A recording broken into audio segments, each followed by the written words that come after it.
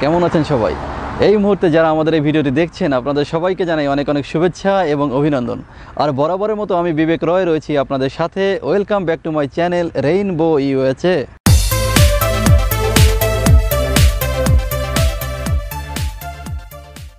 America, the United States of America. বলা হয়ে থাকে, অর্থনীতির পরাশক্তির দেশ। তবে এই অর্থনীতির পরাশক্তির দেশের সৌন্দর্যটাও নেহাত কম নয়। এর যেদিকে তাকানো হয় এর সৌন্দর্য দেখে মুগ্ধ হতে হয়। আজকের এই ভিডিওতে আমরা দেখব আমেরিকা কীভাবে এতটা সুন্দর থাকে, কীভাবে এতটা পরিষ্কার পরিচ্ছন্ন থাকে। ভিডিওটি শেষ পর্যন্ত দেখতে থাকুন, আশা করি অনেক ভালো লাগবে। আমেরিকার শহর কিংবা গ্রাম, অফিস অথবা বাড়ি, অথবা রাস্তাঘাট, যেদিকেই তাকানো হয়, দেখা যায় অত্যন্ত সুন্দর, মনোরম দৃশ্য সব কিছু পরিষ্কার পরিচ্ছন্ন।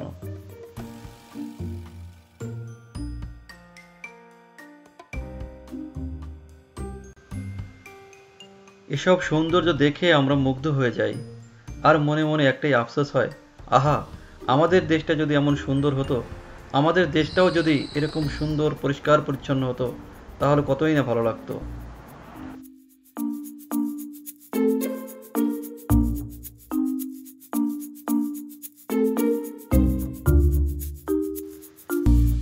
তবে এখানকার এই সৌন্দর্য আপনা আপনিই আসেনি।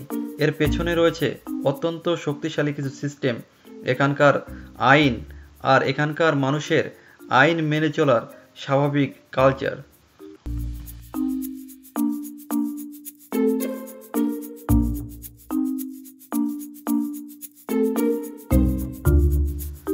আমাদের দেশে যত্রতত্র ময়লা ফেলার একটা প্রবণতা লক্ষ্য করা যায়। কিন্তু আমেরিকাতে এটা আইনগতভাবে নিষিদ্ধ।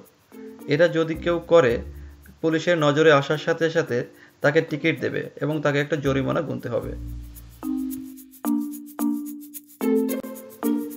আমরা এখন দেখতে পাচ্ছি ট্রাশ ক্যান বাংলাদেশে যেটাকে বলা হয় ডাস্টবিন এরকম ছোট ছোট ট্রাশ ক্যান প্রতিটা বাড়িতেই থাকে, যেখানে বাড়ির প্রতিদিনকার ময়লাটা ফেলা হয়।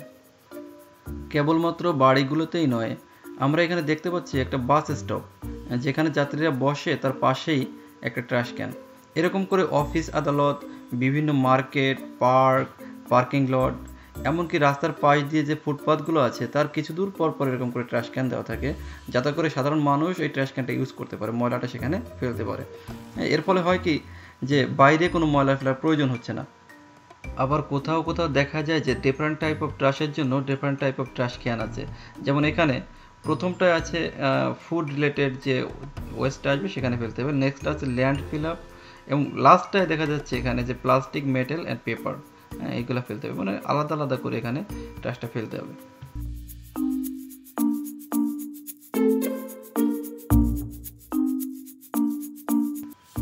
আবার এসব ট্রাশ ক্যান বা ডাস্টবিন থেকে ময়লা নেবার জন্য সপ্তাহে দুই দিন বা তিন দিন এরকম ময়লার গাড়ি বা ট্রাশ কার আসে, এরা এসে এই ময়লাটা এখান থেকে নিয়ে যায়।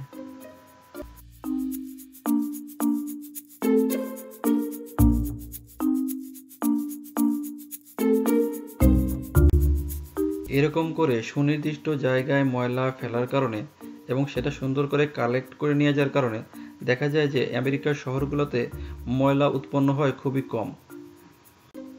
এরপরেও যদি কোথাও ময়লা দেখা যায়, তাহলে এই যে ট্রাশ ভ্যাকিউম কার আমরা দেখতে পাচ্ছি, এর সামনে একটা পাইপ এই পাইপ দিয়ে হ্যাঁ এরা ময়লাটাকে ভ্যাকুম করে নিয়ে যায় এবং এই কারগুলা শহরের বিভিন্ন জায়গায় ঘুরে বেড়ায়, কোথাও ময়লা আছে কিনা, এরা ভ্যাকুম করে নিয়ে আসে। এছাড়াও রয়েছে অসংখ্য পরিচ্ছন্নতা কর্মী যারা হেঁটে হেঁটে শহরের বিভিন্ন স্থানে যেমন পার্কিং লট বা ফুটপথে পড়ে থাকা কাগজের টুকরো বা অন্যান্য ময়লাগুলো হ্যাঁ, তুলে নেয় এবং জায়গাটাকে ক্লিন রাখে।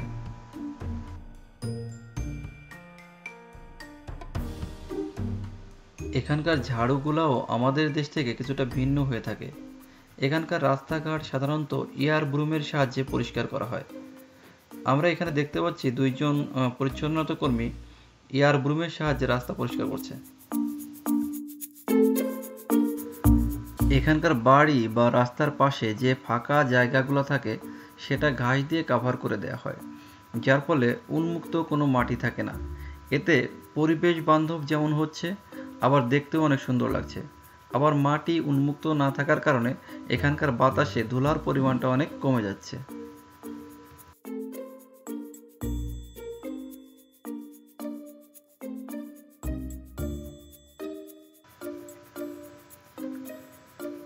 এটা হচ্ছে মোবাইল টয়লেট। এখানে কনস্ট্রাকশনের কাজ চলছে, তাই এই ব্যবস্থা। আমেরিকাতে যেহেতু খোলা জায়গায় টয়লেট ইউজ করার কোনো নিয়ম নাই ল বিরোধী, তাই যখনই কোনো বড় ধরনের কনসার্ট বা বড় ধরনের কোনো ইভেন্টের আয়োজন করা হয় অথবা কনস্ট্রাকশনের কাজ চলে, তখন এরকম মোবাইল টয়লেটের ব্যবস্থা রাখা হয়। আমেরিকাতে যখন অনেক বড় বড় বিল্ডিংগুলো তৈরি করা হয় সেখানে আধুনিক প্রযুক্তির ব্যবহারটা অনেক বেশি হয়। ফলশ্রুতিতে নির্মাণকালীন সময়ে যে ধুলোবালিটা তৈরি হওয়ার কথা, সেটা তুলনামূলকভাবে কম তৈরি হয়। আবার নির্মাণাধীন এরিয়াটা কাপড় দিয়ে ঘিরে রাখা হয়, যাতে করে ওই ধুলোবালিটা বাইরে না বেরিয়ে আসে। আবার পথচারীদের হাঁটার জন্য ফুটপাথটাও কাভার করে দেওয়া হয়, যাতে করে সেফভাবে একজন পথচারী রাস্তা পার হতে পারে বা ফুটপাথ দিয়ে হাঁটতে পারে।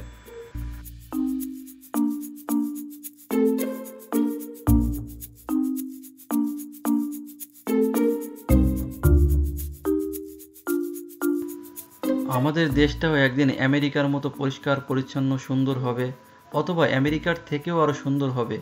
এই প্রত্যাশা রেখে আজকের মতো এখানেই শেষ করছি। আসুন, আমরা দেশকে সবাই ভালোবাসি, আমরা আরেকটু সচেতন হই।